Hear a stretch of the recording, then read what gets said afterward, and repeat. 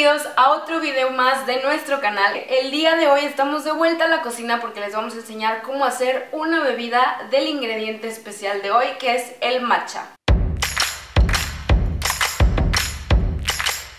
Para nuestra receta necesitamos leche, de la que tú prefieras, el matcha, un frasco de vainilla y es todo, y hielo.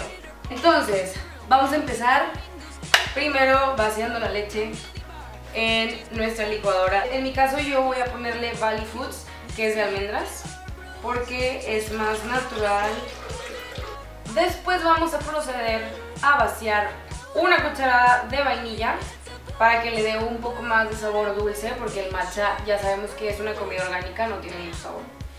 Y ahora lo más importante, vamos a poner dos cucharaditas de matcha y ahora vamos a licuar nuestro frappé.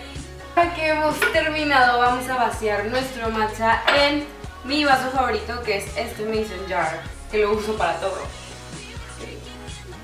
Vamos a ponerle hielo. Ya lo hemos terminado y ahora vamos a disfrutar de nuestra bebida del día de hoy.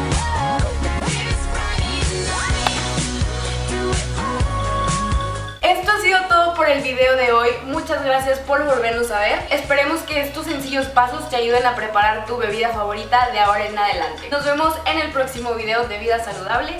Bye.